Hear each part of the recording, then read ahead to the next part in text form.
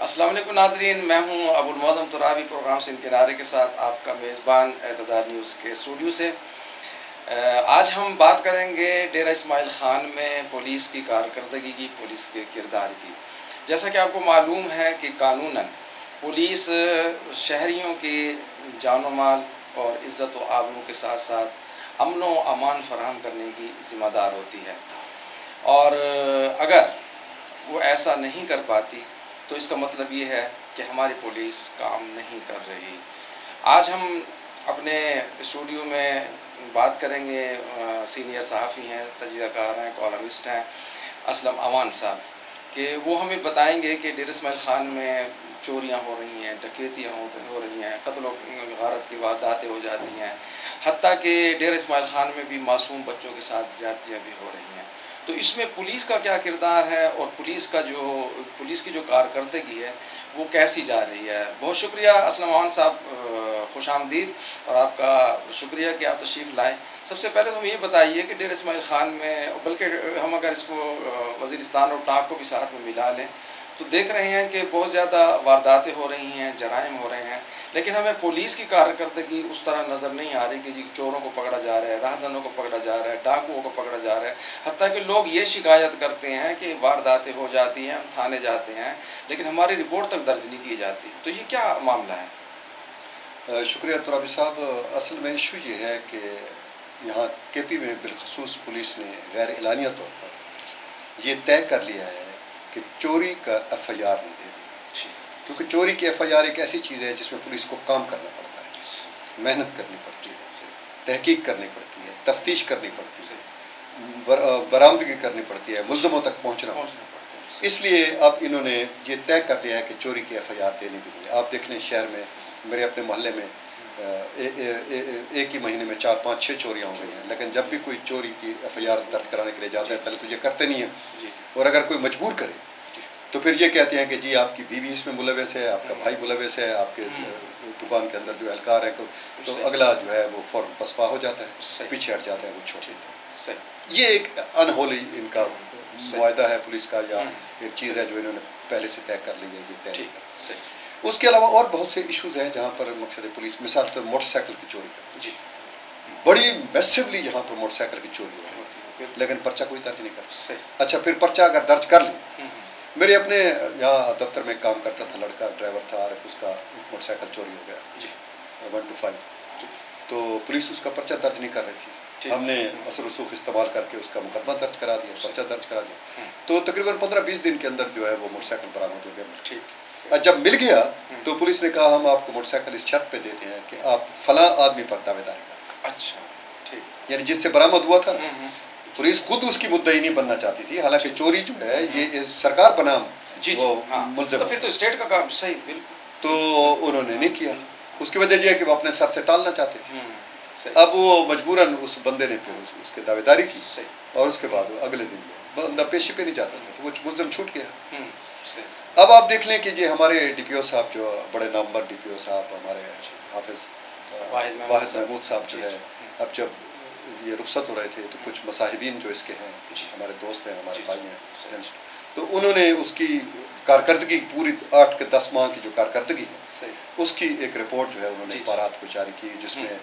हज़ारों लीटर जी जी हज़ारों लीटर मनशियात थी इतना बड़ा सामान था गाड़ियाँ थी इतना बड़ा सामान था हम्म, हम्म। जो जिसमें वो पुर्जे भी थे हाँ। खाने पीने का सामान भी था ड्राई फ्रूट्स भी था अदवायात भी थी फलानी चीज़ भी थी हम्म। फलानी चीज़ भी फलानी चीज़। वो अरबों का सामान ठीक और उस पर उन्होंने लिखा कि ये इतनी जगह पकड़ी है ये फला जगह पकड़ी है ये फला जगह पकड़ी है। लेकिन उसमें ये बात उन्होंने नहीं बताई हम्म। कि आया इनके मुकदमात भी दर्ज हुए हैं। ठीक।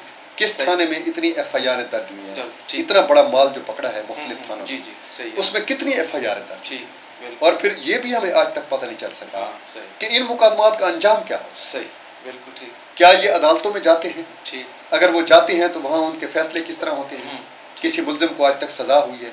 अच्छा उस पूरी तफसीलात में ये भी नहीं था कि मुलजम कितने पकड़े हम्म, ये तो उन्होंने लिखा जी जी। कि उन्होंने दस अरब रुपए का सामान सामान पकड़ लिया। पकड़ लिया। हाँ, अब ये नहीं बताया कि कोई मुलजम भी साथ पकड़ा है कि नहीं पकड़ा। तो ये बड़ी मशकूक और मुश्तबे सही सामान जो है अपना कस्टम हुकाम के हवाले किया। जी जी। हम्म, पता नहीं कौन है कस्टम हुकाम। जी जी। हम्म, कहाँ रखते हैं ये सामान?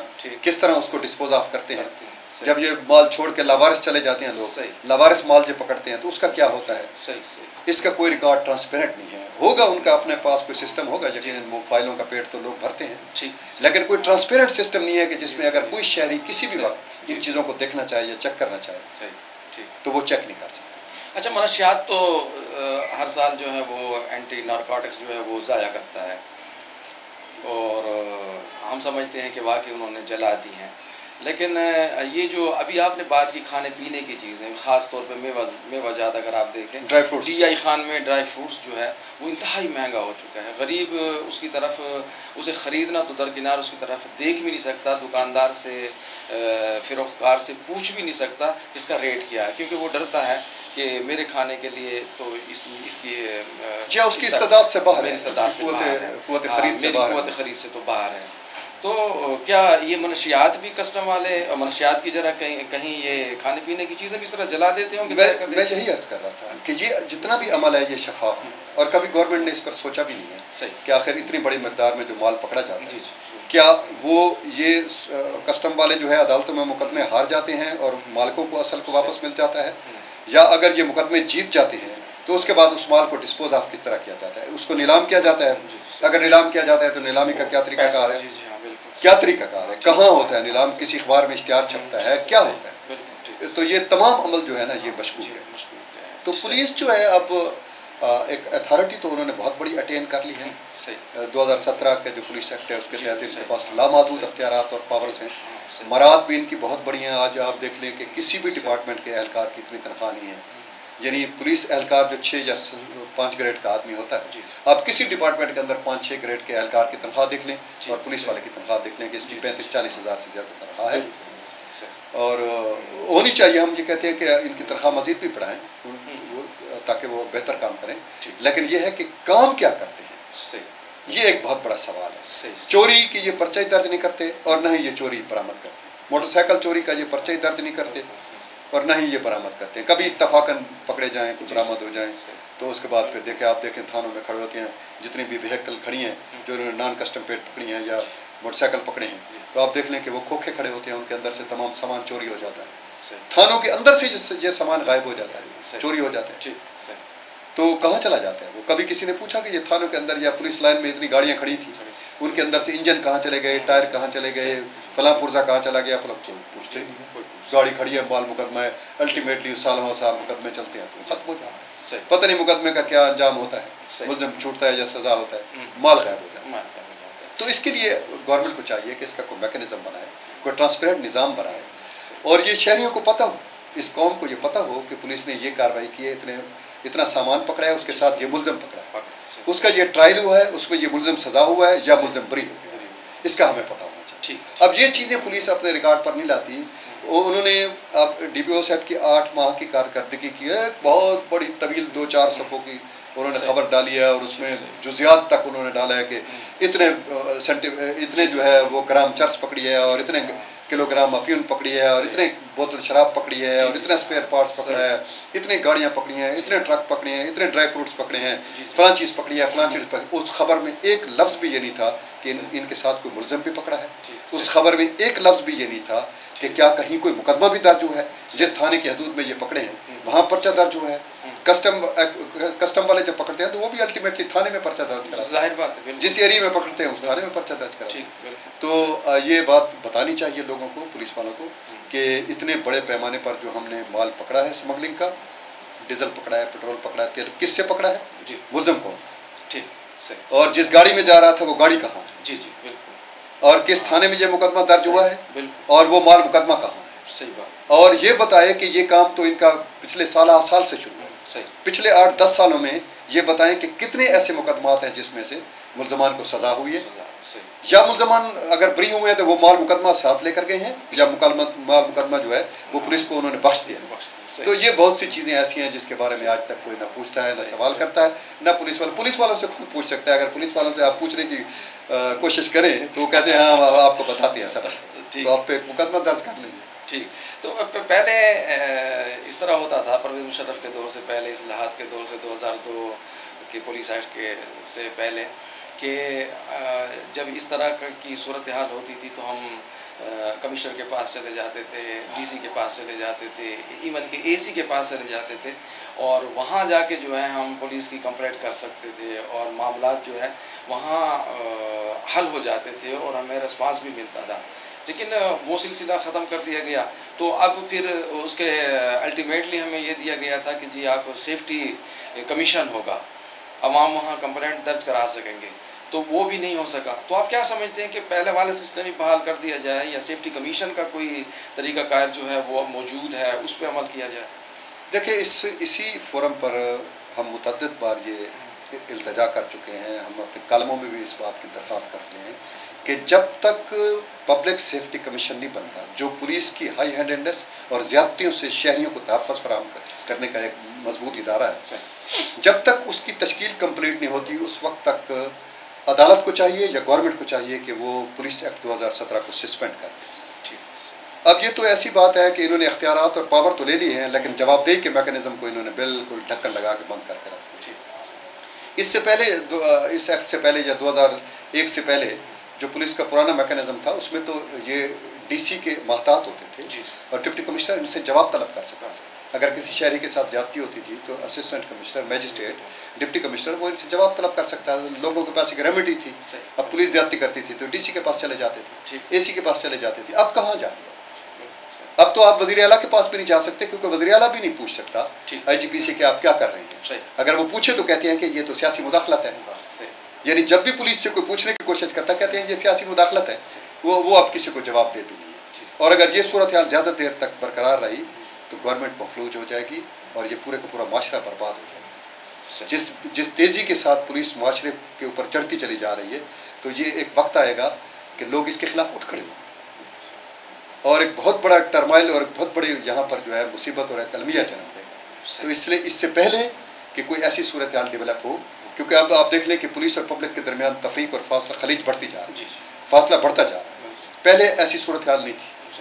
तो हमारी ये दरख्वास्त है आज भी इस फोरम से कि पुलिस को जवाबदेह बनाया जाए और ख़ुद इनकी अपने तजवीज़ करता सिस्टम ये जो 2017 का एक्ट जो इन्होंने खुद बनाया है उसमें इन्होंने पब्लिक सेफ्टी कमीशन खुद रखा है। अब उसको पब्लिक सेफ्टी कमीशन को फाल नहीं होने देते।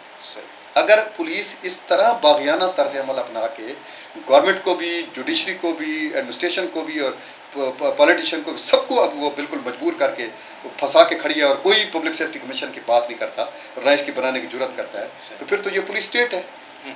फिर हवाले कर दिया क्या ज़रूरत है पार्लियामेंट की और क्या ज़रूरत है सूबाई असम्बली की? और क्या ज़रूरत है चीफ सेक्रेटरी की जो इनसे पूछ भी नहीं सकता? अब पता नहीं चीफ सेक्रेटरी किस लिए बैठा है यहाँ पर? मुझे समझ नहीं आती कि ये डिप्टी कमिश्नर किस लिए बैठा है। सिर्फ़ इसलिए बैठे हैं कि इसने पटवारी तब्दील करने हैं या डेवलपमेंट की जो स्कीमें हैं उसमें से अपना हिस्सा वसूल करना है।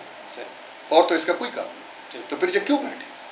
जब ये ये शहरी को तहफ़ भी नहीं दे सकते अमन अमान के साथ भी इनका कोई वास्ता नहीं है। एडमिनिस्ट्रेटिवली ये कोई मैयर भी नहीं ले सकते।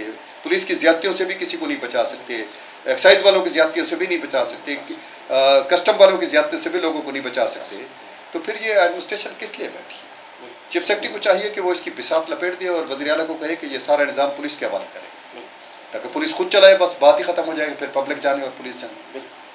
अच्छा आपने मोटरसाइकिल के हवाले से बात की, मोटरसाइकिल की, साइकिलों की चोरियों के हवाले से, और साथ आपने ये बात तो आप कर गए हैं कि हमें ये पता नहीं चलता कि मुलजमान गिरफ़्तार होते हैं, फिर वो कहाँ, उनका मुकदमा चलता है, कहाँ फैसले होते हैं, और जो मसलू का सामान बरामद होता है, वो कहाँ जाता है। तो ख़ास तौर पे आपने भी देखा, हमने भी देखा आवाम को भी पता है। डीआई खान में बहुत ज़्यादा हमने देखा कि कई मोटरसाइकिल ग्रुप्स पकड़े गए, चोरी चोरी करने वाले ग्रुप। जिनका बताया गया कि डी खान से भी थे लोग और पंजाब से भी आए हुए थे। और वो पूरे गैंग्स जो थे, वो मोटरसाइकिल चोरी करते थे, लोगों से या छीनते थे और वो पकड़े गए। ग्रुप की शक्ल में। फिर पिछले दिनों हमने देखा टाँक में भी इस तरह हमें बताया गया कि पुलिस ने कि ये एक ग्रुप पकड़ लिया है। तो उनका भी आप बाखबर हैं मैं भी बाखबर रहता हूँ और हमारे लोग भी बाखबर रहते हैं। उनका भी कभी हमें ये पता नहीं चला कि मुकदमा कहाँ चला और उनका अंजाम क्या हुआ। को, कोई ऐसी बात है कि आज तक देखिए आप पिछले आप दस सालों का रिकॉर्ड उठा लें जितने भी इन्होंने चोर पकड़े हैं इस किस्म के जो आप बता रहे हैं। कि मोटरसाइकिल चोरी करने वाला ग्रुप पकड़ा घरों में डाका जनी करने वाला ग्रुप पकड़ा फलाना ग्रुप पकड़ा। आप पिछले दस साल का रिकॉर्ड उठा लें उनमें से कोई एक भी सजा नहीं और अगर हुआ है तो इनको हमें बताना चाहिए।